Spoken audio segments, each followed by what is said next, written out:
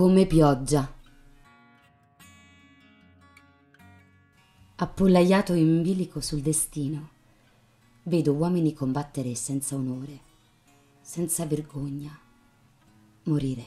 Vedo genti fuggire per non lottare, attraversare ponti crollati e deserti di rimpianti. Guardo eterne giornate rincorrersi nella fretta di un tramonto che pare non finire mai. Guardo grandi uomini divenire cenere, poi terra, poi speranza e infine di nuovo vita. Vedo pensieri liberi e arroganti spiccare il volo e non cadere mai. Non c'è orizzonte che possa chiudermi gli occhi, tramonto che possa offuscare il mio cielo, solo ricordi e grandi gesta, battaglie antiche e cavalieri erranti, scioperi nelle autostrade, filosofie del progresso. Lentamente apro lo sguardo. A storie di uomini senza valore che sento mie, che mi appartengono e mi commuovono, a pensieri che creano culture e plasmano il mio respiro, alle musiche dell'anima, a parole dagli accenti stravaganti che mi ricordano giorni lontani, che ero certo di aver scordato, ma che in realtà non scordo mai. Distesa all'alba della pioggia, gioco a nascondermi al mio destino. E forse vinco e forse perdo. Oggi muoio o inizio a vivere. E poi è notte. Nera, buia, sacra. Ho sulle spalle il peso di mille coscienze.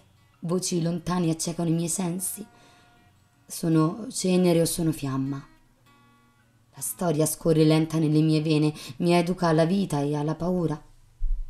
Vorrei solo diventare pensiero, luce colore, farmi natura e poi cosmo vivere senza consapevolezza di aver vissuto, sistemarmi su un gradino dell'essere, dimenticare di essere creatrice ed essere cultura, dimenticare le vite che non ho potuto salvare e quelle che un tempo fui stata.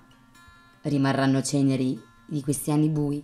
Tutto ciò che ci fu promesso fu un pensiero, la lacrima di un fiore furioso con una primavera emancipata si rende cieco il mio sguardo pur di non guardare. Tornerò in un sogno dove non sarò mai cresciuta e il sole brillerà come ieri non ci sarà domani. Non ci sarà mai più un domani. Solo un granello del tutto che mi compone e che per sempre mi accompagnerà.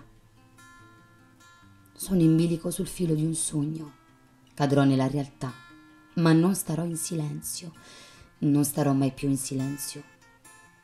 Urlo per farmi sentire dal nulla che mi avvolge, urlo e non sono certa di urlare, forse canto un'antica canzone della pioggia che dolcemente mi accompagna a casa. La mia unica casa, il soave cullare di un turbinoso mare. Annego in me stessa, in questa lieve e armonica malinconia